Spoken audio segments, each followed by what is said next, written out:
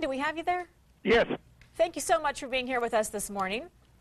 We understand in reading some reports that things got pretty tense yesterday, and there may be some speculation that the president actually got up and walked out of the negotiation meeting.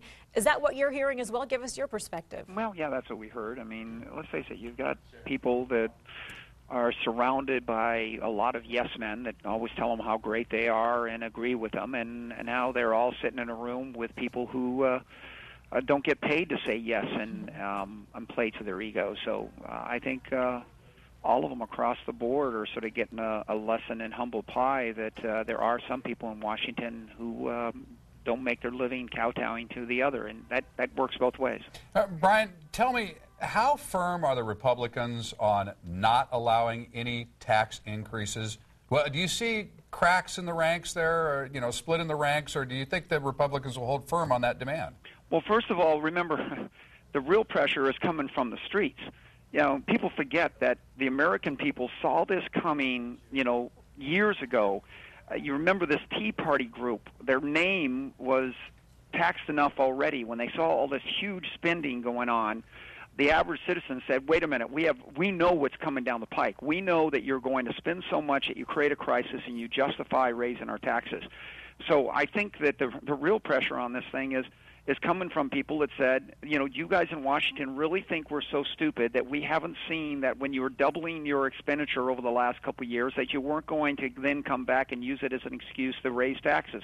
So that's really the tough part about trying to sell this. Now, if we're talking about things like eliminating the farm subsidy, the ethanol subsidies, if we're really talking about just those carve outs that's in the tax code, I think you can find people that will work on that. If you're talking about um, using this crisis of overspending as an excuse to start overtaxing again, I think you've got problems go way beyond the Republican leadership on that. But I think we've, we, have we've seen something that where maybe we can find an answer by saying, let's let's not talk the taxes. Let's talk about um, less of the, the cuts, and let's let's throw in um, the the constitutional amendment to force Washington to go to a balanced budget uh, in the future. And I think that may be able to be the the compromise that we can work out um, and give us the time to be able to, to get something to avoid um, uh, the um, the issue of, of not having uh, the job done by by August 2nd. Which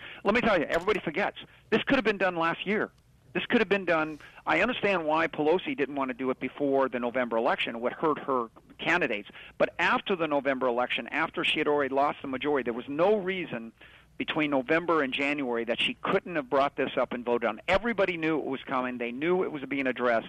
And and it was sort of like, well, let the other guys have to live with the political repercussions. And I think that that's a kind of a cynical politics that, that the public's kind of fed up with. And last minute yeah. always comes down to a crisis. Well, Congressman, let me ask you about this. Adding insult to injury here, Moody's, the credit rating agency, said now the U.S. credit rating will be under review.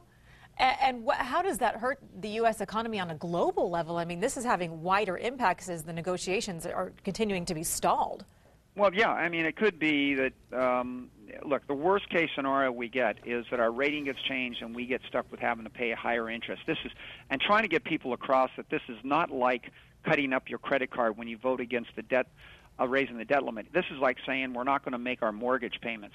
But if you do not restructure your debt and get out of this 40% deficit spending. 40 cents on every dollar we're spending today is borrowed. It's not sustainable.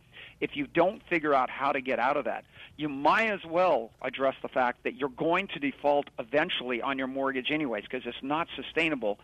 And if you're not willing to bite the bullet and actually talk about how you're going to eliminate that 40 cents on a dollar um, uh, debt deficit, you you might as well admit to the world that you, you don't have the intestinal fortitude to do what it takes to pay your bills in the long run, anyways. All right, Congressman Brian Bilbray, thank you. Uh, we'll continue to follow this. Uh, please uh, feel free to check back in with us uh, here in the next week or so as we get a little bit closer to that deadline. All right. Absolutely, and let's all pray that um, cooler heads prevail and we're we're able to uh, not just avoid this crisis, but finally address the real crisis that we've been ignoring for much too long. We'll keep all our right, fingers sir. crossed. Thank, Thank you, you sir. Much.